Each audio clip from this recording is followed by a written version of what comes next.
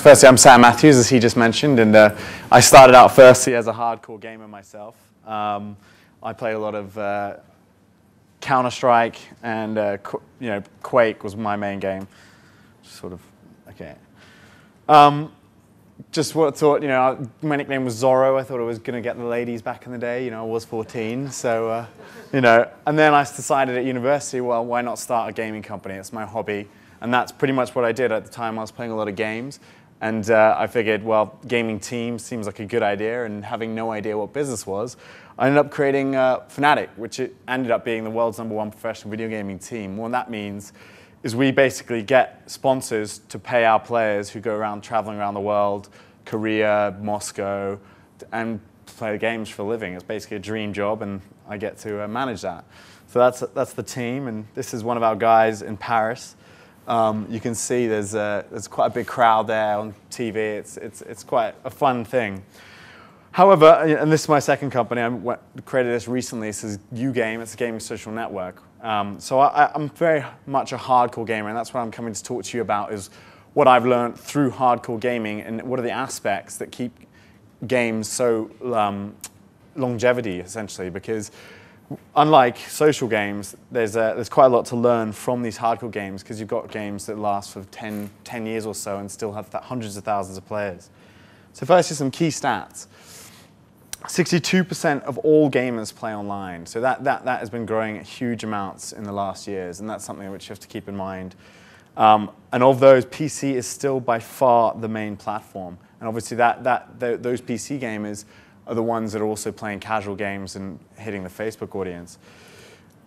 This is one of the things that led me to building the Social into Gaming network was the fact that 32% of all online gamers say the reason why they play online games is actually because of the social interaction. It's because they want to go out and meet people. They want to, you know, and get rewarded.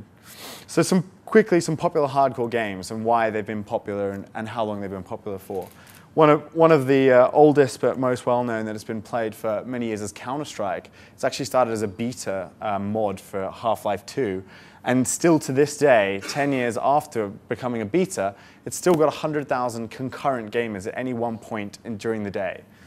Um, uh, I'll, go, I'll go more later why I, why I think this is the case and how, how it actually came to be. Um, obviously, more well known to, to more of the recent gamers as well, the Warcraft a highly addictive crack-like game. Um, and it, it, again, it's got 11.5 million monthly subscribers, and that's just enormous amounts of revenue. So why do, why do I think these, uh, okay, so this is another one. Quake Live is a good example of a game, it's, I don't know if you've ever heard of it, but it's come from Quake 3, which is a very old game. They've essentially morphed Quake 3 into an online social interaction social network and have already, in a matter of six months, added 500,000 gamers to that game. Um, it's a very unique model, and it's something that I think when Quake Live, for example, can get embedded into Facebook and, and you can have 3D games in Facebook, that's where these things are going to be going. This is a very good example to keep an eye on. So what keeps us itching? Why are we addicted to these games, these online hardcore games? Firstly, one of the most important things is balance. These games, you have often have multiple classes, multiple races, groups, teams, and the, the, thing is you never want to have one team which overpowers another team because of the nature of the game itself. You always want to give every player the equal chance at succeeding. Um, I think that's so just as important when you're actually building a Facebook game. Um, next up is status. I mean, everybody knows it, it's game mechanics.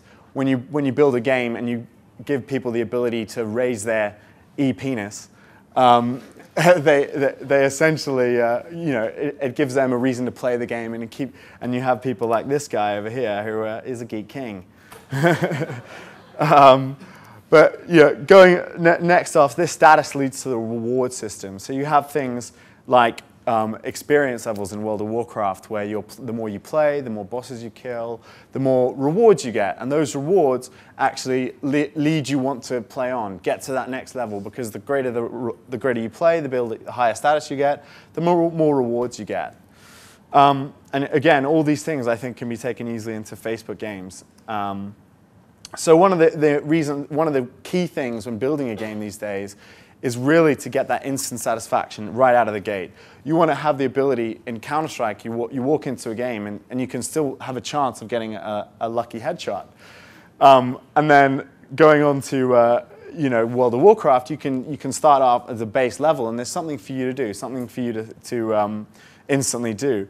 But the reason why they stay big games and stay, they, they carry on being 10 years afterwards, is the fact that it takes a long time to master these games. So, for example, Quake, you may be able to go in and shoot and kill somebody, but you won't know how to strafe jump. Or in World of Warcraft, you won't know how to throw a lightning bolt through your ass or something, you know.